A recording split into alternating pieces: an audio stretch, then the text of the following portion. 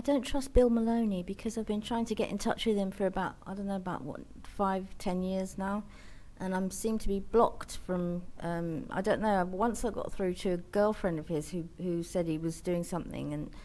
Don't know, but I've left messages online and on Twitter and YouTube, and it seems that he's just not getting in touch no matter what I do. And I, I'm very suspect of. I think there's something wrong with the guy because he's acting like a narcissist, and um, I don't trust anyone with NPD. They're psychotic, and I'm wondering what he's guilty of. Bill, what are you guilty of? Because I know you're helping a lot of people, but why aren't you getting in touch with me? Because I have vital information that could really help a lot of people. And I think it's very weird that you haven't been in touch. And I'm very sorry, mate, because I know you do a lot of good work, but I don't trust any fucker. Okay?